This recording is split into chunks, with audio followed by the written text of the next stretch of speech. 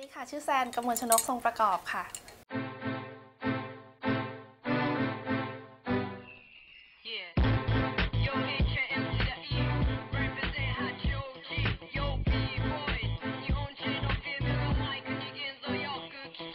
อยู่บอสตันปีที่ 3 แล้วค่ะ แล้วก็ตอนนี้เรียนโทแล้วก็ทำงานอยู่ด้วยค่ะ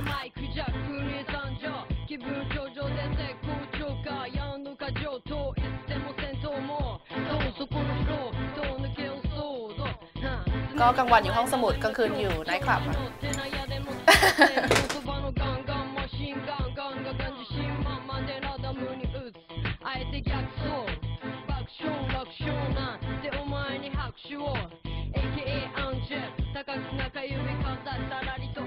ันนี้เหนื่อยไหมเหรอคะ ไม่เหนื่อยเลยค่ะ เป็นคนชอบถ่ายรูปก็เลยสนุกไม่เหนื่อย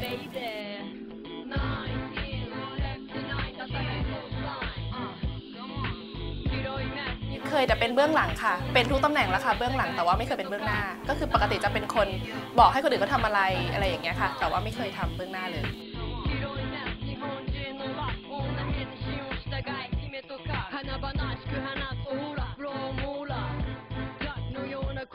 เคล็ดลับดูแลสุขภาพก็คือปกติจะ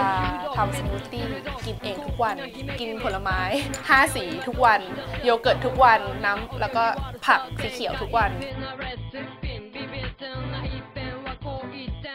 も試しぶっかましてけラ BB の中の B 黄色い B ややりたい ก็ถ้าถามว่าเป็นคนมีบุคลิกยังไงเหรอคะ ก็เป็นคนที่อ่ามักจะใช้เขาเรียกว่าอะไรอ่ะ หัวใจตัดสินไม่ว่าจะทำอะไรก็ตามมากกว่าสมอง だ เส か มอ ら何だからかに最後に笑う MC 私こそふさわしい ยังไงก็ฝากติดตาม B Variety Variety ของคนอารมณ์ดีในฉบับเดือนเมษายนด้วยค่ะ ขอบคุณค่ะ บ๊ายบาย